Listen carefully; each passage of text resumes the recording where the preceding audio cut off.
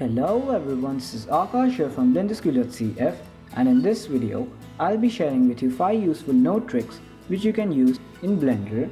Now these tricks are surely gonna improve your workflow while using nodes in Blender. Also some of the tricks which I'll be sharing may be known to you, but even then, let's get started. So first things first, why? Why am I creating this video and sharing with you these tricks? But first, let me ask you a question. Do you have node setups like this? If yes, are you wondering how to manage them much more efficiently? Well, then this video is designed for you as it will surely help you speed up the process of playing with the nodes. And even if you don't have such complex node setups, don't worry, this information can be useful to you later on. So let's get started with trick number 1.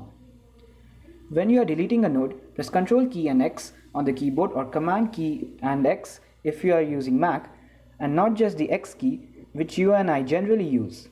Now the reason behind this is because Control key and X deletes the node while preserving the node links whereas the X key just deletes the node. So let me explain you a bit more properly. Suppose I have this simple node setup right here and I want to get rid of this normal node over here. So what I do, I press the X key on my keyboard and the node is gone. But what happened to my link? I need to again, you know, again relink the a texture coordinates and the mapping node and this takes time. What rather I can do is instead of again doing this, I can press Ctrl X. And as you can see the link is preserved and the node is also just deleted. So this is the trick number one. Let's go in trick number two. You can specify custom names or labels for every node in your scene. Now why specify custom names or labels? Well, this later helps you easily control the value different nodes when your node setup grows and um, yeah, it makes it much more easy to identify what value does the node control. And if you are even planning to share your .blend file with other users, it will help the other users also understand your node tree better. So let me show you the example again. So as you can see, I have this mix shader node over here. And if I, if I have a bigger node setup, there may be many more mix shader nodes. For now, I want to change this mix shader name over here of this node. Now this thing is called a label. You can change the label by pressing N, opening the properties, and in the node section, you're going to find a section called label. By default, it's empty, but you can type in something here. So I can write glossy control, and this is much more easily identifiable. So the other user, if he comes and sees my node setup, he'll understand, oh yes, this thing controls the glossy, so this factor controls how much uh, glossy object is. So this is how you can specify custom labels for your nodes. Let's move to trick number three.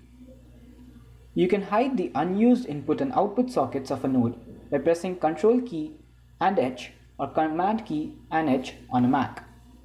Well, why do this? Well, this provides you with a clear understanding of how the nodes are connected and which values are being affected. And this also removes the unused sockets, input and output sockets, which you don't want the user to fiddle with and it's it's gonna make the node tree much more clearer to understand. Now one thing to note is this does not mean that uh, you're hiding the nodes. So let me show you what I mean. Uh, so let's take for example this glossy BSDF node over here. So as you can see this node has three inputs this color input, roughness input and the normal input and one output which is the BSDF output now as you can see uh, only one of the inputs is being currently used which is the normal input. Some node is connected to this and the output is also reserved. Some uh, other node is connected to the output of this node. But these two uh, inputs over here I don't need it. So if you are planning that if you are sure that these values are not going to change you can just hide these input sockets by pressing Ctrl H. If you're on Windows as you can see those are just hidden now. Now if you again press Ctrl H it's gonna be visible. Now, uh, what I mean by this is I'm not going to hide this node. If you hide a node by pressing H, as you can see, the input and output are still there, but the node has just uh, become much more smaller. However, I'm pressing Ctrl H and this just hides the uh, unused input and output sockets. Okay, so if I do this with the image texture node, which has two outputs and one of them is not even being used, I can press Ctrl H. As you can see that alpha output is just gone. However, the uh, options in the node as this color space and stuff are still gonna remain. So this is trick number three. let's go to trick number 4. You can link most of the nodes together by just selecting them and pressing the F key. Now why do all these things? Well, this helps you to quickly connect multiple nodes together uh, automatically rather than doing it manually. So let me show you what I mean. So suppose I don't have this glossy node right here. I'm just going to remove it. I'm going to again uh, break the connections over here a bit just to show you what I mean. Let me bring this texture coordinates node here. Okay. And uh, don't worry about all these nodes for now. Let's just move them out. Suppose I have this simple uh, node setup here. They are not connected. Now if I want to sit and connect them, I'll connect them like this manually, right? And it's going to take some time. What rather you can do is just press the B key and do a box select around all the nodes which you want to connect and then press the F key and you're gonna see blend has automatically connected the nodes. And I guess this this area was also selected so let me just deselect that before doing this. Okay then press the F key and as you can see by default uh, Blender has automatically connected all the nodes for you. Uh, now this may not work when you have a really a large setup with nodes however this works with simple node setups like this one which I have right here it's a really useful trick and it may be useful in some cases so let's move to trick number 5 you can search for a node in the active node tree by pressing Ctrl key and F on Windows or Command key and F if you're using Mac. Now this helps you to quickly find and edit a node in a very large node setup. So if you have a very large node setup, you can't just sit and uh, find out where your node is. Well, with this feature, you can automatically find out the node. Uh, so as you can see, if I have this node set up, I can press Ctrl F and there'll be a search bar now. Now I can just uh, uh type in here and search for the node, uh, which I think is there in this node tree.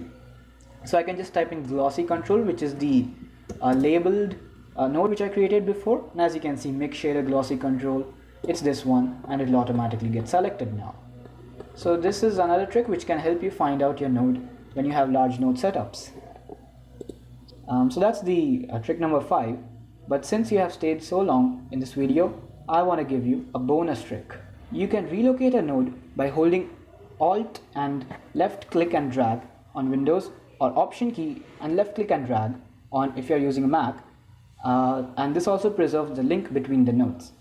So uh, why do you want to do this? Well, this helps you when you want to actually uh, change the node links.